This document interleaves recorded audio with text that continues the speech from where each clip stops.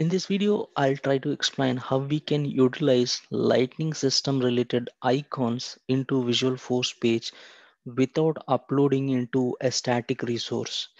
So what we have to do is if you go to lightning design system icons, this is icons tab here. And for example, I want to take the refresh icon into my Visualforce page. So I just right to right click, click inspect element so the reason for inspecting this element is I'm trying to find the URL of this image. So if you go under SVG, you'll see a tag called use and here you will see uh, href and then you'll see here the complete URL of this logo.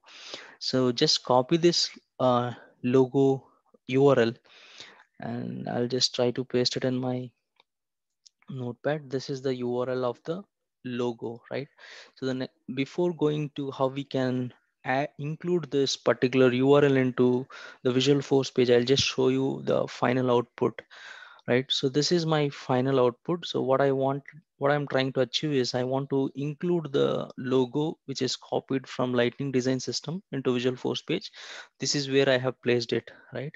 So the, the motto behind this is if I just click refresh here, so the current time zone here is uh, so the, my org is in PST. So the current time is 357. If I just refresh it, the entire page has to reload and also it has to update with the current time. So if I just refresh, so 358 is the PST time. If I just go and check now, it is 358. So it is working as well as my logo is also available here. So I'll just show you how we can include this. So what you have to do is this. So this is the logic here, right? So uh, I've utilized command line for uh, to include this logo uh, to make this logo work, right? So on click, I'm just trying to reload the entire page.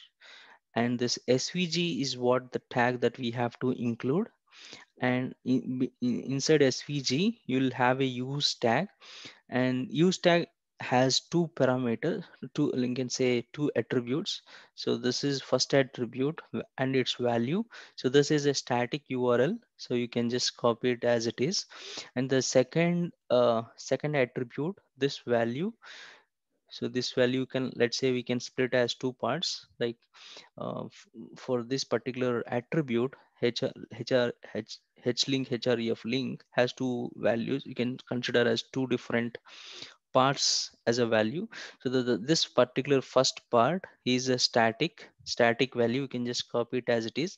And the second part is whatever we have whatever we have copied from the lightning design system uh, so the same same code will be pasting it here. So that's it. So in this way we are uh, we don't need to include this icon into a static resource. So directly we can uh, reference this logo into our Visualforce page. So that this is how the, this is how the final outcome is right? And the second important point here is so whenever you are including this uh, svg icons make sure in your Visualforce page uh, you are also appending this uh, apex slds uh, tag. If this is not included what happens is let me save this. And if i go here uh, so if you see here this icon become ugly right? So to avoid this what you have to do is you have to include this slds tag so that it will display as we expected right? Yeah that's all about this video. Happy learning